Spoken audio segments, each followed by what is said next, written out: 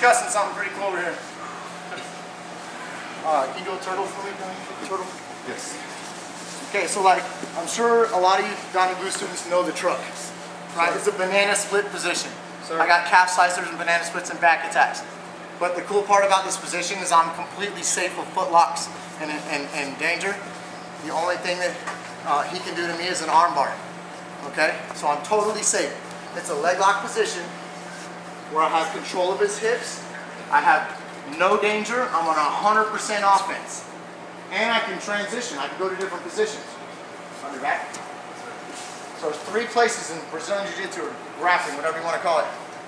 Dead zone. Yeah, it's like a kill zone, it's an end zone for leg locks for me. I don't like the idea of freaking just diving for a toe hold. I certainly don't like the idea of both of us having an ankle lock on each other and just trying to win. That stuff is crazy to me. I want to be in control and know that's going to happen. So I'm going to try and also get to what I call the sambo knot, right? So I reach underneath the knot, cross my ankles, and I'm completely safe. He, is, he cannot attack me in any way whatsoever. I have toe, ankle, kneel, uh, heel. Uh, I can actually stretch his hips out if I pull him. A lot of guys will try and pull your arm. So I'm a complete control, okay? So you have the truck and you have the sambo knot and then you have the leg lace and there's a ton of different ways to get to it. With this position right here, I'll fall back and I'm here. 10 kind of guys, I think they call this honey hole. Some guys, I, I know I know this is an inside leg triangle. To me, there's, I want to have everything named. This is an inside high side heel hook. This is an outside low side heel hook. This is an outside high side heel hook. So I can tell you which hip specifically I'm on.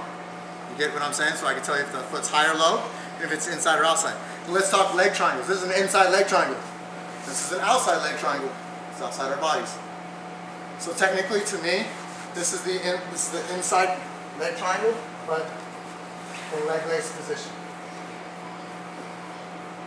I know that might be nuts to some people. But again, I'm under 100% attack. I got the far side foot lock, boom, right? I got heel hooks. I got the actual leg lace submission. You see me post that picture of Keenan the other day? Um, so these are three positions that I'm trying to get to if I'm going to go for a leg lock, if I have the intent. I think uh, like Donny has a cool little phrase he calls build your own system, right? For me, like having a path, having a way that you want to go, not just clapping hands and what am I going to do? You should have something in your head, especially if you're going to a tournament or an MMA fight or something, you should have a game plan somewhat. Get to your strongest points. Stay away from your weakest points.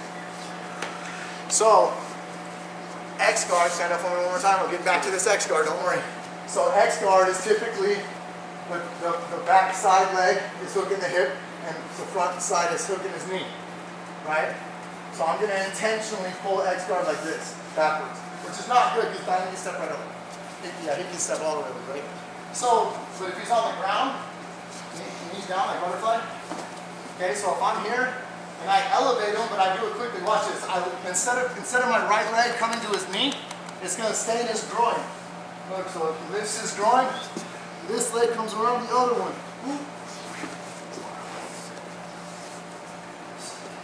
And now I'm in this position. This is probably 90% of my tap right here.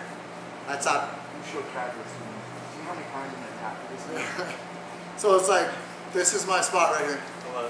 Even if he holds my sleeve or holds my collar or anything like that, he can't stop my body hold, right? He can't stop my, he's got the knee in the way.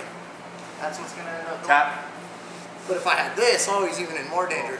A lot of guys like to think they're grabbing on or holding me close, but then you just Yeah. yeah, it's so tight. And there's all kinds of subs from there.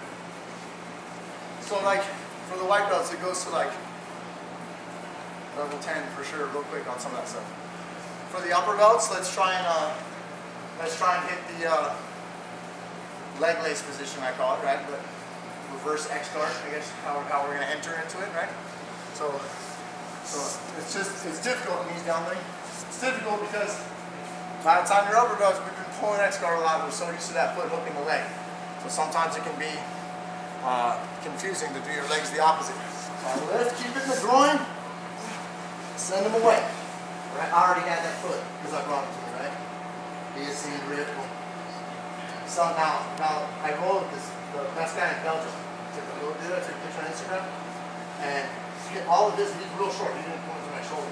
Well, you can't tackle him like this because we're too damn tall. You know what I mean? So he's gonna immediately go to heel hooks or toe holds. Like so, for you guys that don't know the leg I'm gonna dig underneath the far side, get a grip, clamp down, or I got the toe holds. No kind of fan. One more. Now I'm gonna try and get away from them a little bit and not do it so much right underneath them. So I send them away. And then watch, I kick them away. Grab that far side foot. How we go? So you guys good with that? Ready, set.